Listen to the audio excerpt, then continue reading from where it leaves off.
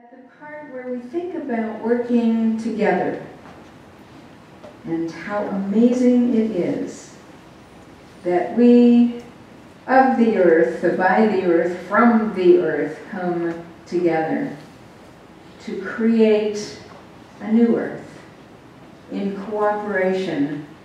with the earth that gives us birth and nurtures our every breath. I had always hoped as an idealistic 20-something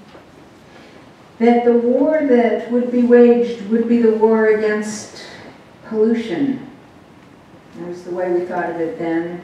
Now that it's a true war against environmental degradation,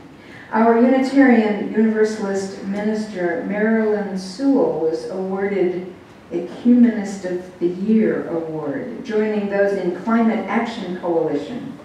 just recently last week in Portland for that group's direct action to keep fossil fuels in the ground and hold up continually climate change as the moral issue of our day.